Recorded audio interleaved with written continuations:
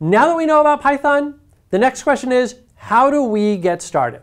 Well, the first thing that we're going to need is somewhere for Python to run. Python is an interpreted language, so you will need a runtime in which Python can execute.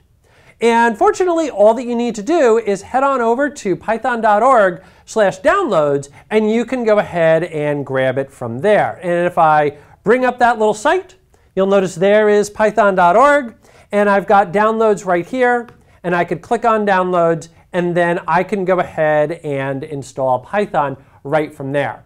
Now, I'm not going to walk through how to do the installation. I'm assuming that you know how to install something onto your particular uh, operating system of choice.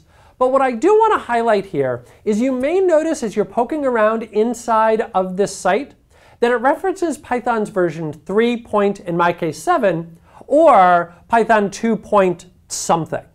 And you might be wondering, well, which version should I use? And the answer really is Python 3. Python 2 is there for legacy support.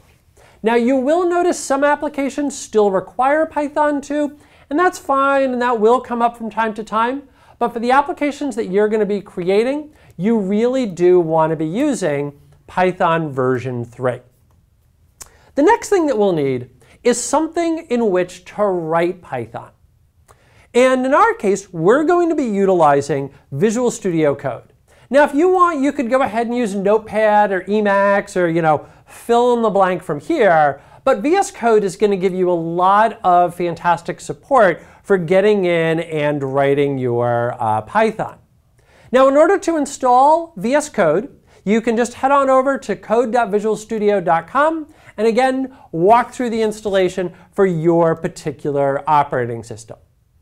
The last thing that we're going to need is a little plugin for Visual Studio, and I already have that up on my browser here.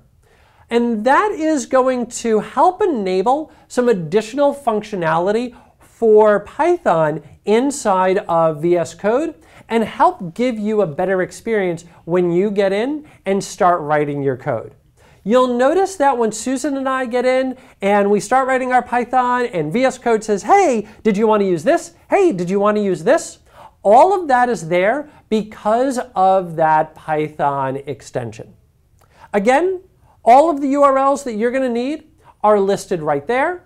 I'm going to go ahead and break this video, and then we'll come back and do a real quick demo on how to install the extension inside of VS Code.